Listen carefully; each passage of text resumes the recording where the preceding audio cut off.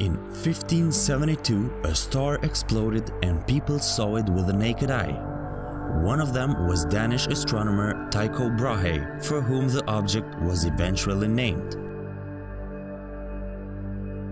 About 400 years ago, Tycho thought he found a new star, but astronomers now know that Tycho's new star, also known as SN 1572 or B Cassiopeia, wasn't new at all. Rather, it marked the death of a star in a supernova. This object continues to puzzle astronomers to this day. That's because SN 1572 looks different from other supernovae. It's all clumpy and lumpy. But astronomers are using simulations to figure out how it got that way. This particular supernova is a type Ia,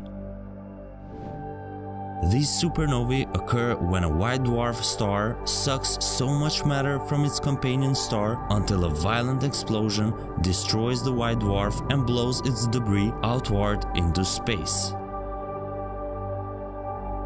NASA's Chandra X-ray Observatory reveals that although the supernova remnant looks spherical, its actual surface is wildly bumpy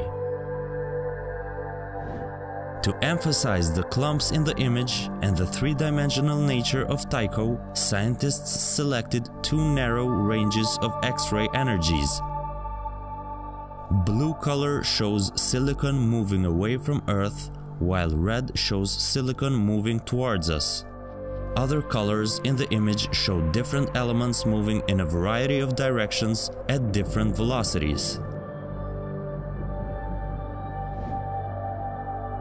When scientists combined data from Chandra and a number of simulations, they found that the clumpiness was most likely produced during the supernova explosion.